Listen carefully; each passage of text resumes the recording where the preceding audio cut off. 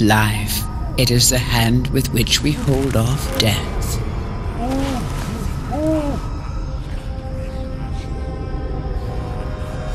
Nothing may endure. That is the inexorable law.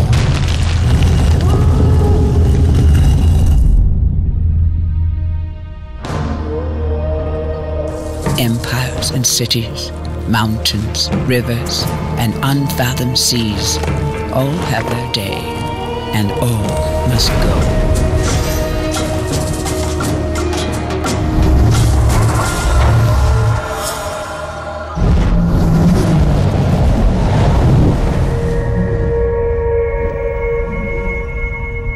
And man must die.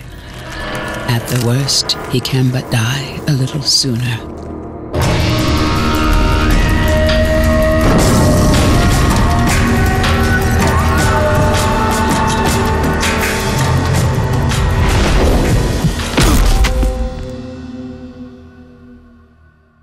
But all things live forever, though at times they sleep and are forgotten.